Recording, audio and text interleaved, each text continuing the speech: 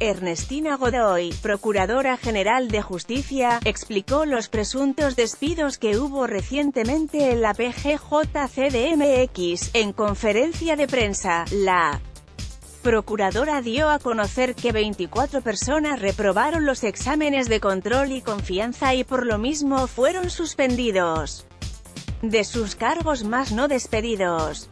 Godoy dio a conocer que hay irregularidades en relación a los exámenes y a los expedientes de los policías pues de acuerdo a su historial son elementos que tienen varios años en servicio, con niveles altos de preparación y con hojas de incidencias casi perfectas, por lo que no concuerda que no hayan pasado las pruebas. Se decidió que los policías serán revalorados con nuevos exámenes aprobados y supervisados por la nueva administración.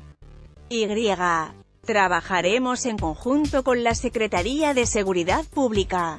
Por otro lado, al ser cuestionada sobre el aumento en los índices delictivos desde la entrada de AMLO a la presidencia, la procuradora explicó que ese repunte no es solo del mes en el que entró el nuevo gobierno, sino que es un repunte que se dio durante todo el año pasado. Se está haciendo el análisis de todo el año, nos enfocamos sobre todo en los delitos de alto impacto.